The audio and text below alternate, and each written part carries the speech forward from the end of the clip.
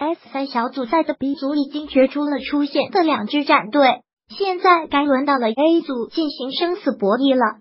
经过几天的厮杀，FW 和 G 二二胜一负同分，并列 A 组第一。Off 作为 LCK 的二号种子，现在一胜二负，和越南水牛 PVB 同分，徘徊在出局的边缘。前面的 Gen.G 作为去年的 S 七冠军，如今却是被欧美战队和 RNG 吊打，败在了小组赛中。AFS 这边也不容乐观，出师不利，二连跪，一起的 Gen.G 已经走回家了。现在压力来到了 AFS 这边，是淘汰还是晋级？AFS 在处理对手的同时，还将面对巨大的娱乐压力。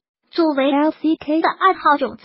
留给他的时间已经不多了，在首轮交锋中不敌 FW 和 G 二 AFS，仅仅在对阵越南队 PVB 的时候，成功的拿到了自己 S 八的首胜。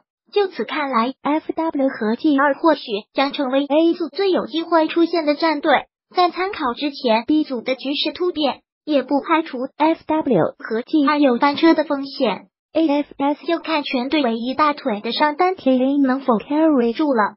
在第二轮的比赛中，AFS 首战便将面对组内最强的对手 FW。